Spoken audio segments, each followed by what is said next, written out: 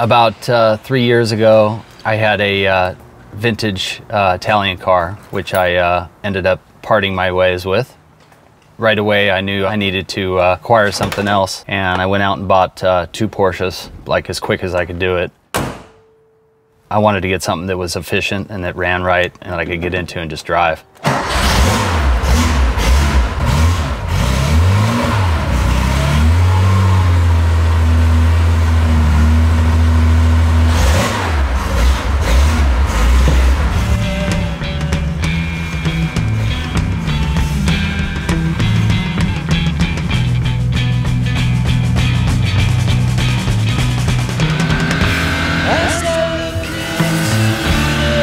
One of my favorite things to do is to get up at like six, seven o'clock in the morning on a Sunday. And in LA, nobody's around. It's completely empty, even downtown. There's so many roads to go on, and there's you know so much to do as far as driving goes. When I first picked up this car, I did a half paint job because one side needed needed paint all the way down on the right side. I needed a dashboard and I redid the seats. I needed to dial in the engine. It's hard to get a perfect car. There was work to be done, but it had all the bones and it was the right color.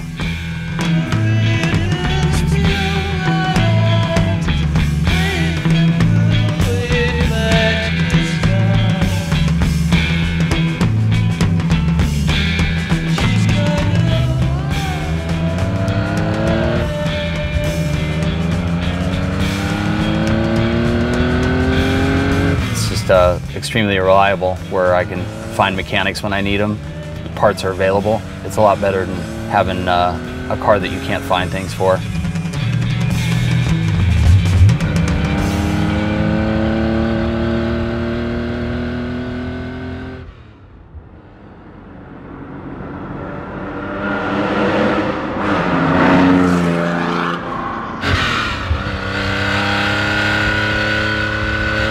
This car is incredible to drive. It sticks to the road and it's got plenty of power.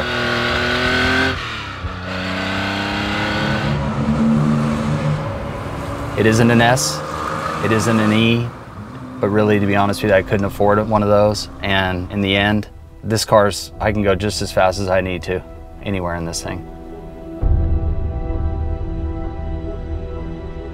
I'm gonna be doing the uh, Peking to Paris rally in uh, 2019. The rally's uh, 8,500 miles long, all through Mongolia, Kazakhstan, Russia, down through Poland, and, and back to Paris again.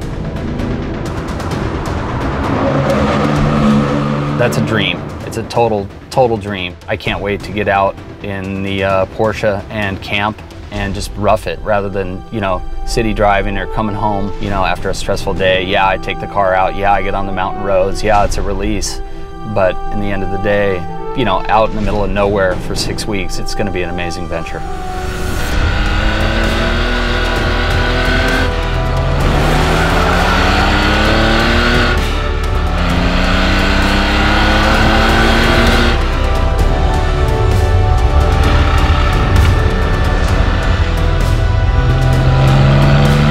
Is something that I want to keep for life because it's such a solid car. No matter what, it just keeps on running and you can beat it up a bit and you can haul ass and it still does great. It starts up every day.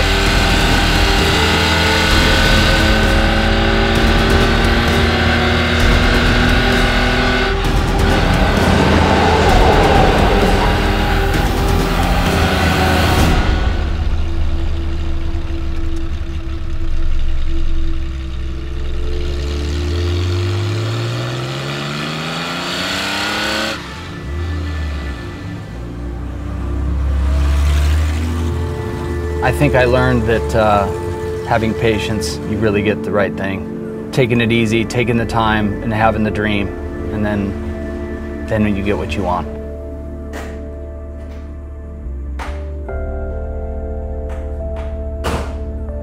I'm Kurt Gerhardt, and I drive a Porsche 1969 911T.